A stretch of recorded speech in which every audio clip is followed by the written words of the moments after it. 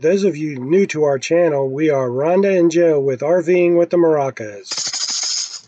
After we left Big Lagoon State Park, we headed east to Blackwater River State Forest to the campground in the Krul Recreation Area near Milton, Florida. The campground was nice and had large campsites. The roads were paved and there were limestone campsite pads. We were in Site 34. The cost was $16.49 per night and we had water and electric hookups. Enjoy the video tour of the campground as we share some of our thoughts about this trip.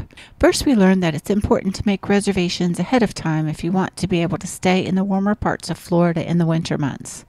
One of the reasons we decided to visit the Panhandle is because we were having trouble finding more than two or three nights in state parks in Central and South Florida. It was really cold in February at this campground. It rained much of the time we were there, and our water froze a few times. Also, we had no cell signal with Verizon. This meant no phone or internet for service for us. If you watched our last video, we mentioned that we had just bought our new truck in Pensacola. We were waiting on some parts for the truck, and it had been a bit hard to communicate without phone or internet. We ended up driving to Pensacola every few days to check on things. Unfortunately, the lake was dry because the dam that provided water to the lake was damaged by Hurricane Sally in September of 2020 and was still under repair. On a positive note, the hosts were great and very accommodating. This would be a fun spot to visit in the summer and once the lake has water again. There was a lot to do, such as hiking, swimming, and camping.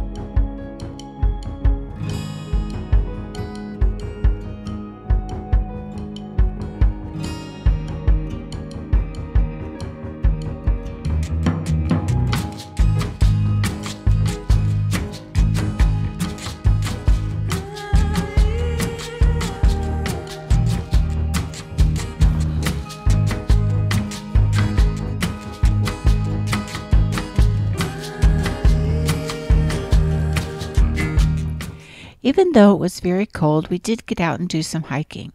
We walked around the campground loop most days. One walk was on a runway that looked like it was used for events because there were structures that looked like they could be used for stages or food stands.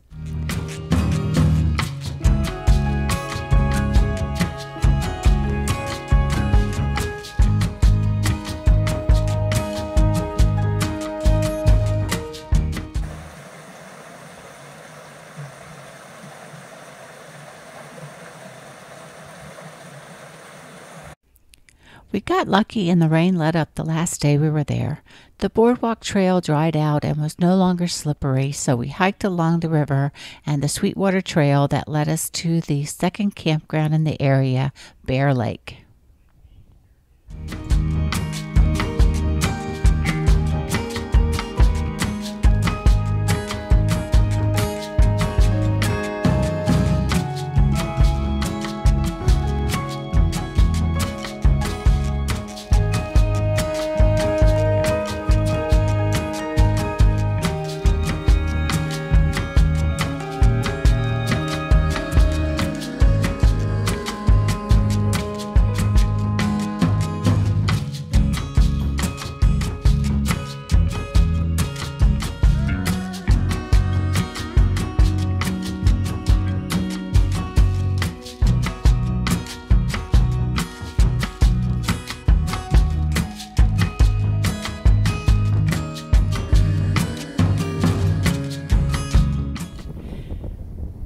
Bear Lake,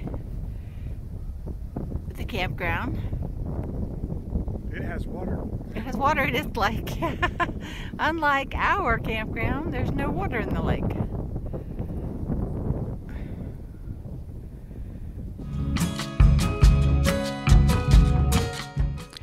We celebrated Valentine's Day at Grover T's Barbecue Restaurant. The food was excellent, especially the blueberry cobbler with ice cream.